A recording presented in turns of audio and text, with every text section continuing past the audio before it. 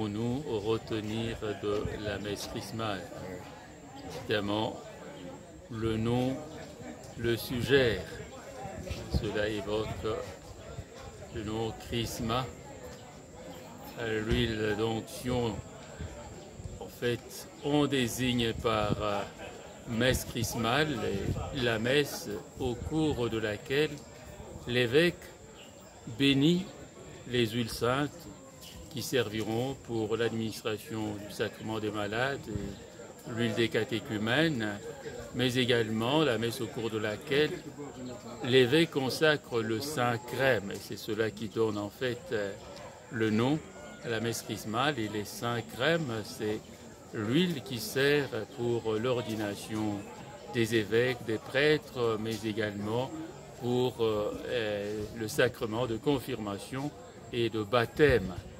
Alors, euh, nous sommes loin, comme le Christ lui-même l'a été, et il nous associe, pour ainsi dire, à son sacerdoce.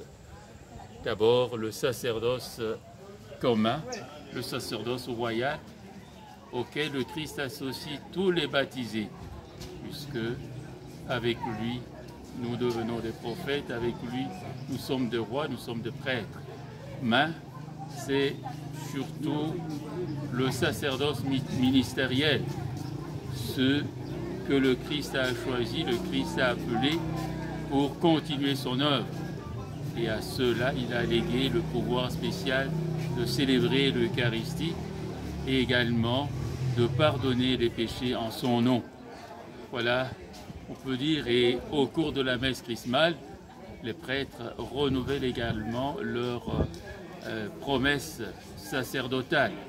On peut dire que cette messe est la messe la fête du sacerdoce, hein, le sacerdoce du Christ, le sacerdoce des ministres que le Christ a associé à son ministère de façon spéciale, mais également le sacerdoce de tous les fidèles, hein, de tous les baptisés, puisque moins comme le Christ, nous sommes appelés à être témoins de sa bonne nouvelle, de son évangile auprès des pauvres, auprès des délaissés, auprès des prisonniers, comme nous l'avons entendu dans l'évangile où le Christ lisait un passage du livre du prophète Isaïe.